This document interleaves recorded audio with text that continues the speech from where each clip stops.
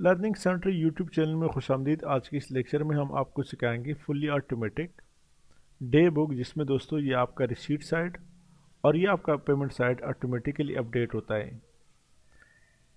जैसे आप यहाँ रिसीट में डेटा पुट करेंगे, जो कि मैक्रो रिकॉर्ड है, यहाँ रिसीट साइड पे दोस्तों जैसे आप नाम लिखेंगे तो डेट, जैसे आप रिसीट साइड पे यहाँ पे नाम लिखेंगे, फ़र्ज़ करें, एब्रार जैसे आप यहाँ पर रिसीप्ट साइड पे नाम लिखेंगे एब्रार तो ऑटोमेटिकली आपके पास दोस्तों डेट आएगा। डिस्क्रिप्शन में लिखिए कार्गो चार्जेस अमाउंट लिखिए 910 यहाँ पर रिसीट पे क्लिक करें तो हमारा डेटा दोस्तों यहाँ पे आया।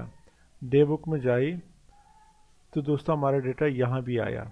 इस तरह दोस्तों पेमेंट साइड पे यहाँ पे आप लिखिए जुल करनेन तो ऑटोमेटिकली आपके पास डेट आएगा today date cargo rent amount आठ सौ नब्बे। पेमेंट पे क्लिक करें।